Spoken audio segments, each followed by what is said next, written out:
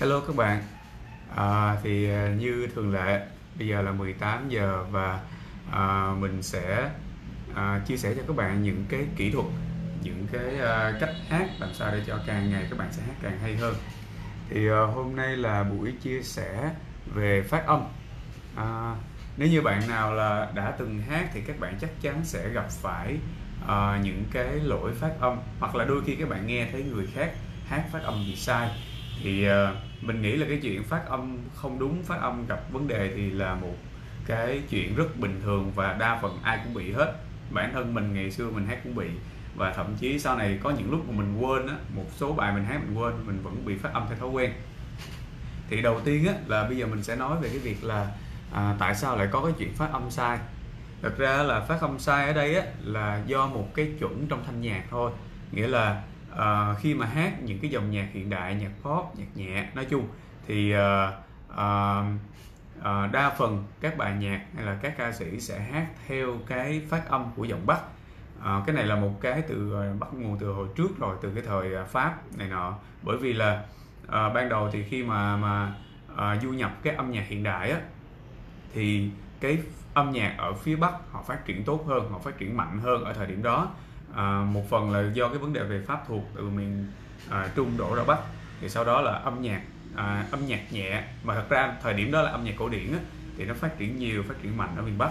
Còn thật ra là nếu như các bạn để ý á, thì những thể loại âm nhạc mà có cái à, bắt nguồn à, không phải ở phía bắc ví dụ như nhạc cải lương nhạc ca cổ này nọ thì vẫn theo vùng miền.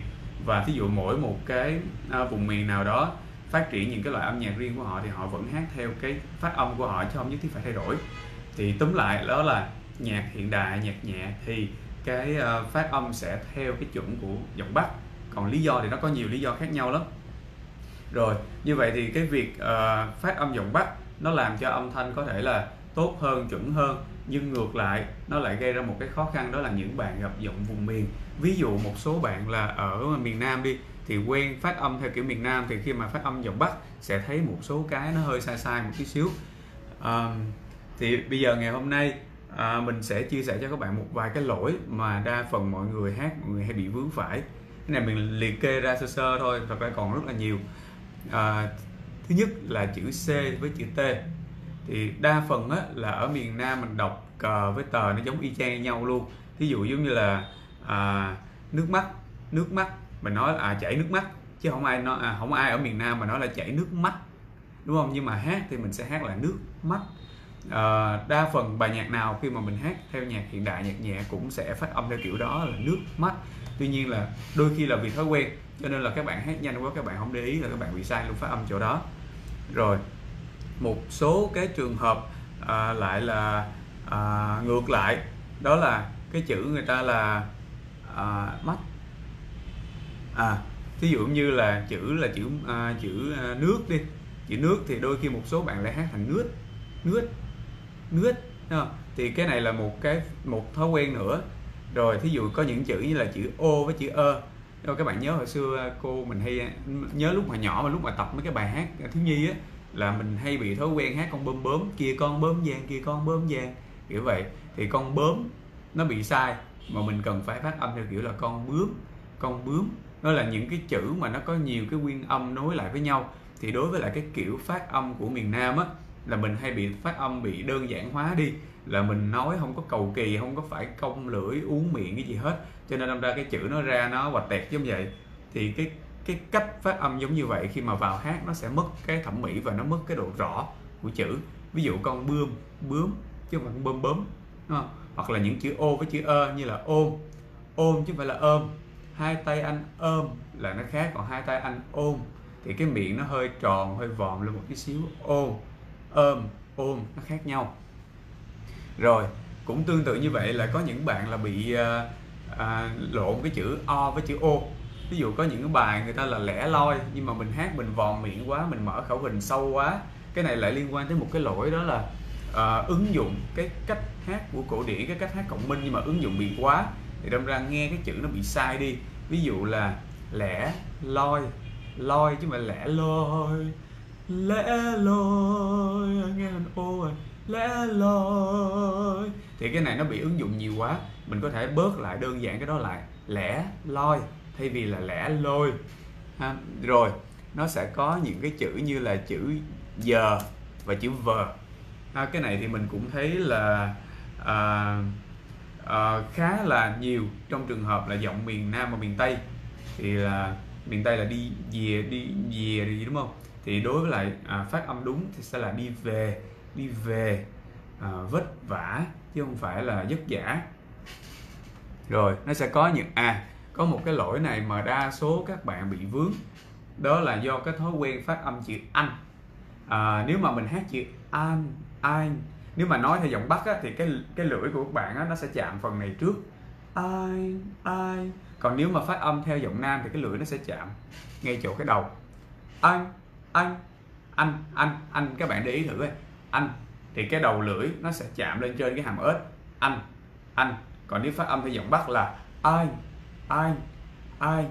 Thì các bạn nhớ là khi mà phát âm đối với lại âm nhạc trẻ âm nhạc hiện đại nhạc à, mới sau này mới sau này thì nghĩa là những cái bài mà tính cả từ thập niên à, 60 70 luôn nha chứ không phải là mới đây nghĩa là những bài mà à, 2000 2010 đó rồi thì tất cả những thể loại âm nhạc gọi là nhạc nhẹ ở Việt Nam thì khi mà hát thì chúng ta sẽ hát theo cái chuẩn phát âm của giọng Bắc. Trừ một số thể loại nhạc là thí dụ nhạc uh, dân gian ca cổ mà nó liên quan tới yếu tố vùng miền thì ngày xưa cái vùng đó họ hát như vậy thì mình sẽ phải tập để hát theo kiểu đó. Và thường là sẽ giữ nguyên cái gốc phát âm ban đầu chứ không có thay đổi về gốc phát âm. Rồi à, hoặc là một số thể loại hiện đại luôn nhưng mà họ lại lại chấp nhận cái việc hát theo của vùng miền ví dụ như là rap. Thì khi mà các bạn rap các bạn có thể uh, rap đúng cái phát âm của mình chứ không nhất thiết là phải đổi qua phát âm giọng bắc để làm chi hết. Thì nó vẫn có những cái kiểu uh, rapper những cái cách để mà hát theo cái phát âm riêng của mình. Rồi sau đây là còn thêm hai cái lỗi mà nó không phải nằm ở chỗ phát âm nhưng nó làm cho cái việc phát âm bị dở đi. À, đó là một là cái lỗi đóng âm nhanh quá. Một lát khi mà vào bài á, mình sẽ chia sẻ cho các bạn kỹ hơn các bạn sẽ thấy rõ là cái việc phát âm uh, nhanh quá nó tạo ra một cái uh, không tốt cho cái cái cái âm thanh làm cho âm thanh nghe không có cảm xúc nghe nó bị thô bị bị uh, không có mượt mà lắm. Uh, đó là một là phát âm nhanh. Hai là bị phát âm quá mạnh. Khi mà quá mạnh á, cái âm mình nghe nó bị cà giật cà họt lên thì nó làm cho cái cảm xúc bị mất đi à, thì đó là những cái lỗi cơ bản để mà các bạn phải để ý khi các bạn hát. Thì tất nhiên là khi hát không ai để ý nổi hết cái đống này đâu. Cho nên là khi khi mà mình tập á mình cố gắng tập làm sao mà từng chữ từng chữ để mình quen dần cái cách phát âm sau đó mình hát một câu ngắn hát chậm rồi sau đó tăng dần cái tốc độ lên. Chứ các bạn ngay lập tức mà các bạn hát à, vào bài liền mà các bạn muốn sửa phát âm liền thì rất là khó. Đặc biệt là đối với những bạn mà đã bị vướng cái vấn đề phát âm rồi thường các bạn bị vướng các bạn không có biết các bạn đang bị phát âm sai đâu. Bởi vì nó là thói quen mà. Phải có ai đó ngồi nhắc hướng dẫn cho các bạn thì các bạn mới sửa được. Còn không thì các bạn sẽ phải tập chậm để ý lại tưởng tượng giống như mình đang học lại lớp 1, lớp 2 tập đánh vần từng chữ từng chữ lại. Có một cái mẹo khá là hay để cho các bạn có thể à, tập phát âm được đó là các bạn nghe nghe radio nghe đài nè hoặc là nghe những cái mc mà giọng bắc. Nói rồi sau đó mình bắt trước lại cái cách phát âm đó thì đó là một trong những cái mẹo mà mình thấy khá hiệu quả để các bạn có thể tập được phát âm. Rồi bây giờ hôm nay mình sẽ vào một bài à, mà giống như mình đã nói là bài buồn của anh. Thật ra là mình chọn bài này không phải mà vì một cái mục đích đã kích gì hết. Tuy nhiên là à, bài này nó vẫn có một cái vài cái cái chỗ mà à, cái bạn ca sĩ bạn phát âm chưa có chưa có tốt ngay cái chỗ đó. Tất nhiên là cái chuyện mà bài này có cảm xúc bài này hay hay là hot gì đó thì cái đó là không bàn cãi tuy nhiên cái mà mình đang nói ở đây đó là nói ở cái góc độ về phát âm.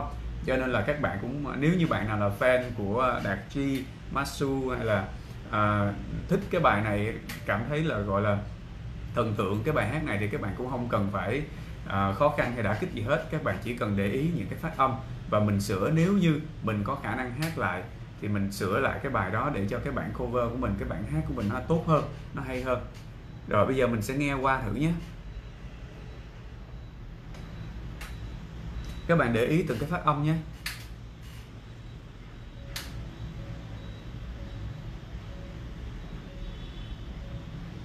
Mình thấy đây cũng là một bài khá là hay. Chỉ riêng cái phần phát âm thì có vấn đề thôi.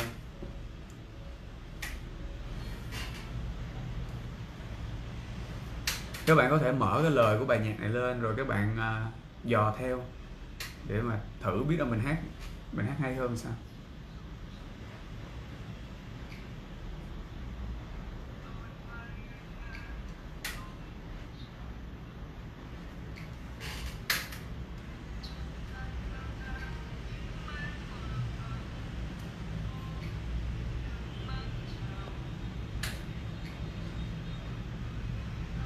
Các bạn thấy chữ nước mắt không? Nước mắt.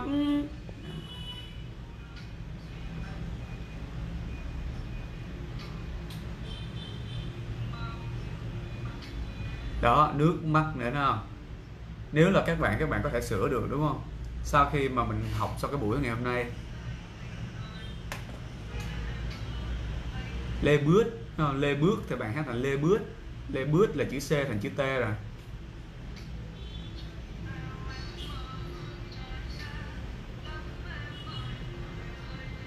Rồi, các bạn để ý cái chỗ này là bạn hát bị đóng bị nhanh quá, cho nên cái chữ nghe nó bị cục lại. Trong khi nhạc này ballad thì các bạn nên kéo nó giãn ra để nó mềm hơn trong cái bài.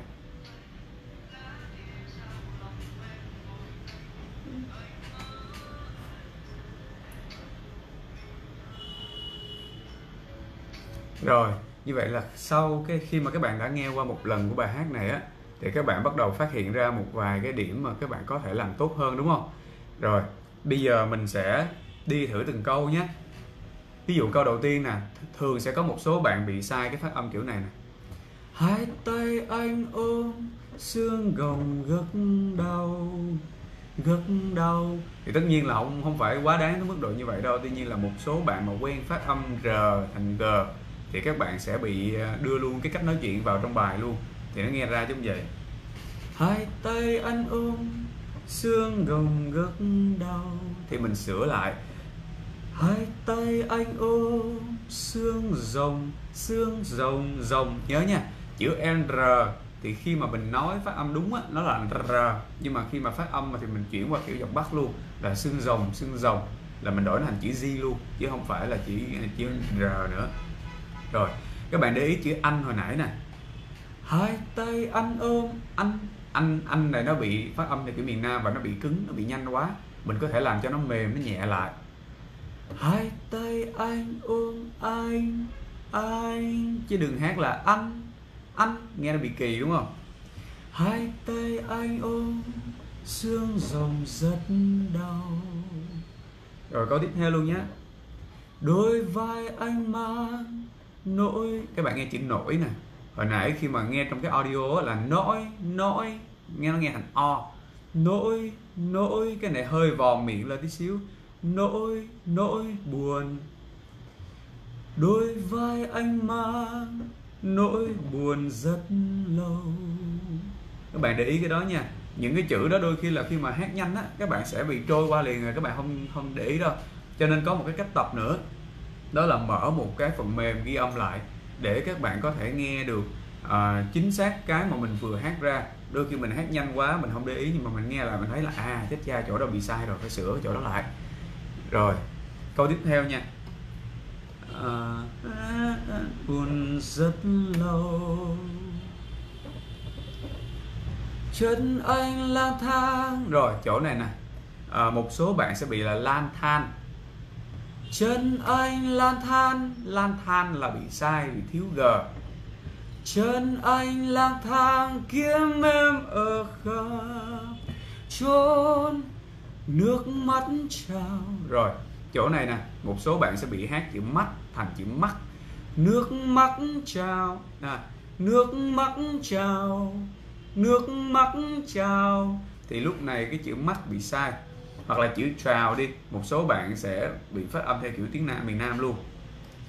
Nước mắt chào chào chào thì nó bị nghe, nó bị đơ quá, thô quá thì mình thêm cái âm ra tí xíu.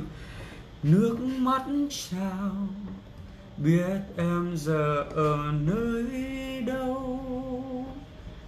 Rồi, bây giờ mình thử hát lại cái đoạn đó, thì các bạn nghe và các bạn có thể hát theo nhé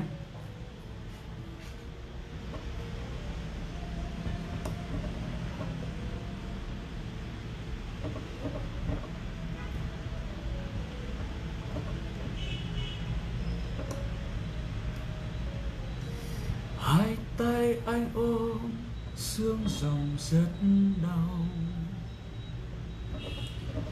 Đôi vai anh mang nỗi buồn rất lâu. Tưởng anh lang thang kiếm em ở khắp chốn, nước mắt trào, biết em giờ ở nơi đâu. Rồi các bạn thấy là khi mà mình sửa lại cái phát âm tí xíu á, thì các bạn sẽ thấy là cái lời, cái cách mà hát nó sẽ bắt đầu nó mượt mà và nó không có bị thô, bị đơ nữa. Các bạn nhớ nha, sửa cái lỗi phát âm và sau đó cố gắng làm sao mà hát đóng âm chậm lại. Đặc biệt là đối với những bài ballad, đối với là nhạc ballad là các bạn luôn luôn nhớ đóng âm chậm lại để làm cho cái âm thanh nó mượt mà, nó tình cảm. Bởi vì ballad là nhạc lãng mạn mà mình hát mà mình bị hát giật mạnh nặng quá thì nó sẽ làm cho mất đi cái tính lãng mạn của bài. Còn những cái bài mà ví dụ kiểu mà nhạc EDM nhạc sôi động thì các bạn lại phải hát cho nó bật nó nảy lên thì nó mới hay. Rồi à, như vậy là mình đã chia sẻ qua một cái uh, chủ đề khá là thú vị đó là về phát âm. Thì không biết là các bạn có uh, những cái câu hỏi hay là có những cái phát âm nào mà các bạn đã từng bị vướng mà các bạn đang không giải quyết được không? Thì các bạn comment xuống bên dưới để mình sẽ hướng dẫn cho. Mình đã từng gặp một cái trường hợp gọi là rất là nan giải luôn là phát âm bị không ra được chữ n r r. À, bạn đó sẽ biện minh bởi vì lưỡi bạn ngắn bởi vì abcdf gì đó. Thì à, mình nghĩ là có thể một phần là lưỡi ngắn nó sẽ ảnh hưởng tới phát âm cái đó đúng thiệt. Nhưng sẽ có một số cái trường hợp khác là cái việc sai à, hay là cái việc không làm được là do các bạn không thực hiện nó thường xuyên hoặc là không có ai chỉ với mình cái cách tập để rồi mình bị quen một cái cách nói nào đó xong rồi mình giữ cái cách nói đó hoài luôn thì sau này sẽ không nói được cái đó. Thì đối với những bạn nào mà đang bị vướng cái tình trạng tương tự á đó là bị phát âm r không được thì có một cách à, mà mình nghĩ là các bạn có thể làm được nếu mà các bạn chịu khó khoảng vài ngày là các bạn phát âm được liền. À. các bạn để ý nè chữ r r thật ra là gì? Là cái lưỡi đập liên tục vào trong cái hàm ếch. Đúng không? Thì bây giờ các bạn có thể làm cái mẹo đó là để cho cái lưỡi nó phải đi lên đi xuống nhiều lần thí dụ mình hay tập cái chữ là tà là tà là tà là tà là tà là tà là tà là tà là cho tới khi mà cái lưỡi mình nó quen cái tốc độ di chuyển đó tà là tà là tà là tà là tà là tà là tà là tà là tới một mức mà nó đủ nhanh á để các bạn bắt đầu phát âm ra chữ ra tà tà là tà là tà là tà là tà là ra rồi mình để cái lưỡi ra sau tí xíu mình quấn một cái mình nói chữ ra ra ra đó là một mẹo. Mẹo thứ hai, cũng y chang giống vậy, thay vì chữ r là đọc đọc giống vậy, đúng không? Mình tập bài tập này. Tập hoài luôn tại vì tập hoài là cái lưỡi mà nó quen rồi nếu như lần đầu các bạn làm không được thì các bạn làm lần hai làm tới 100 lần thì chắc chắn sẽ có một lúc mình làm được khi mình làm được bắt đầu mình nói chữ r ra r r không thì các bạn sẽ có thể phát âm được chữ đó và nó không quá khó còn thí dụ các bạn cứ cảm thấy là à chết cha cái tại vì cái lưỡi bởi vì cơ thể mình thế này thế kia thì các bạn sẽ không bao giờ phát âm được hết bởi vì là mình đang có thể là đổ thừa cho cái giọng hoặc là có thể mình bị tập thiệt nhưng mà mình có thể dành thời gian để luyện nó mà. Ví dụ có những bạn là mình thấy là à, giống như là những bạn mà khiếm thị đi hoặc là những bạn bị tập nguyền về tay đi các bạn tập đàn các bạn vẫn đàn được mà các bạn tập hát các bạn vẫn hát được thì tại sao mình bị một cái tí xíu đó mà mình không sửa đúng không? Thì những cái vừa rồi là để uh, giúp cho các bạn có được cái phát âm tốt hơn. Và hy vọng là sau cái video này các bạn sẽ có thêm một công cụ một cái mẹo để có thể tập luyện được cho giọng hát của mình và càng ngày càng hát hay hơn nhé. Và như là mình đã chia sẻ thì à, những cái buổi livestream như thế này sẽ được bắt đầu vào lúc 18 ờ, giờ tức nghĩa là 6 giờ tối ngày thứ bảy hàng tuần tại trường âm nhạc Adam Music và nếu như các bạn có bất kỳ cái thắc mắc câu hỏi gì các bạn cứ comment hoặc là các bạn inbox cho mình. Mình sẽ làm nó thành những cái chủ đề thường xuyên và mình chia sẻ trên Facebook cũng như là uh, kênh YouTube trường âm nhạc Adam Music. Nếu như các bạn tìm ở đây không thấy thì các bạn cứ tìm ở trên kênh YouTube của Adam Music. Và nếu như các bạn cảm thấy là khó khăn khi các bạn tự tập luyện ở nhà thì các bạn cứ tới với trường âm nhạc Adam Music. Ở đây sẽ có mình có rất là nhiều những cái giáo viên khác với cái phương pháp hướng dẫn thanh nhạc hiện đại à, để giúp cho các bạn khắc phục được những cái khuyết điểm của mình và làm cho các bạn càng ngày càng hát hay hơn. Và quan trọng nhất là theo đuổi được đam mê âm nhạc của mình. Cảm ơn các bạn rất là nhiều. Mình là Đoàn Nhật Quý. Hẹn gặp lại các bạn vào tối ngày thứ bảy tuần sau lúc 18 giờ. Bye bye!